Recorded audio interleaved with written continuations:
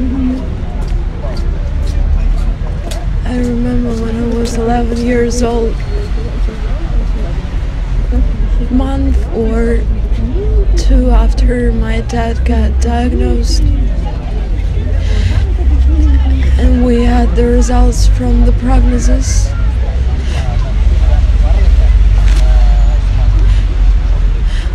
You know, it was actually really cool. Like 80 20. And we had a little celebration, ordered a ton of Chinese food. And I was lying in bed between my both parents, watching Seinfeld run something. And suddenly, I couldn't breathe. It was like the world was no longer filled with oxygen. I was gasping, panicking. They called the ambulance. Thought maybe I had an allergic reaction or something.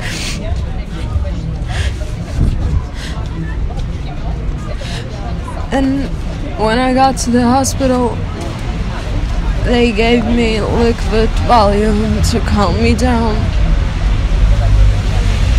And I remember the moment it hit me.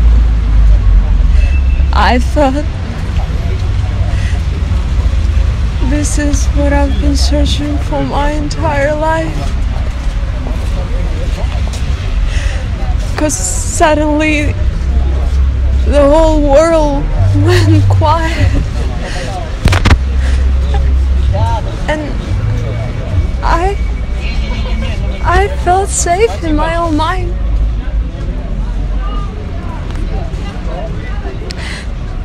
Mm. Two years later, he was gone. Mm, My panic attack state.